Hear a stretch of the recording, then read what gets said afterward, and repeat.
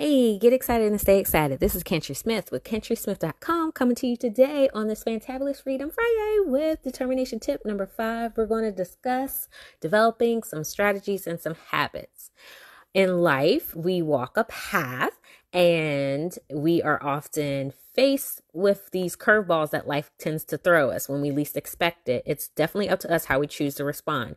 Often we can sit here and trip over or stumble or fumble over these hurdles or whatnot. Um, but uh, the obstacles, you know, they're going to test us. Um, so we have to learn how to develop some strategies and some habits for ourselves that are going to help us knock down those hurdles um, since it takes resilience, fortitude, and willpower to overcome those obstacles. So, with that being said, today's tip is we're going to develop strategies and habits to help you overcome obstacles that arise. The more strategies you create to address a variety of issues, the easier you'll find it to continue on your path to success.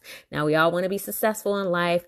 Um, so we do have to implement different strategies that are going to help us to overcome that. And with that, in order to leap, jump, hop, skip over top even walk around these darn hurdles, um, we do have to have that resilience and that ability to see problems as opportunities for growth and the mindset that thrives over that adversity. So I do hope that this helped you today. Thanks for tuning in. Until the next video, take care. Bye for now.